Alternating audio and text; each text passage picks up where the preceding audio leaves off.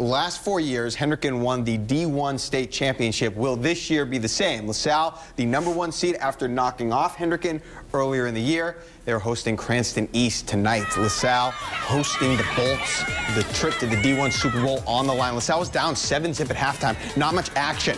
Uh, but the Bolts they gave this up. Oh. On a third down, oh. La Salle had to have it. Jace Pena connecting with Elijah McClain. Touchdown. Rams were tied at seven. Cranston East trying to answer, but no. Nick Baricchioni has other ideas, and you're watching them unfold right there. It's a pick six, 14-7 La Salle. Fourth quarter now, Bolts had to do something, and they did.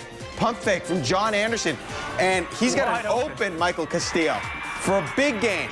Castillo jacked up. He starts high stepping. Look at him.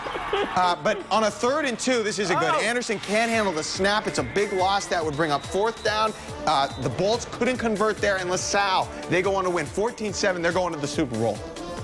I mean, we've been doing this most of the year. You know, most of our games this year, we've been down at halftime, and that's a tribute to our kids. They don't panic. You know, they didn't get, they didn't get, they didn't point fingers at anybody. They just knew we weren't playing our best, you know, brand of football. And we came out in the second half, and we said, we, you know, we got to score some points somehow, some way.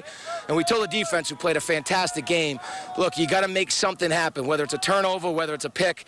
And Nick Vecchione came up huge with the pick six, and uh, you know that was a difference.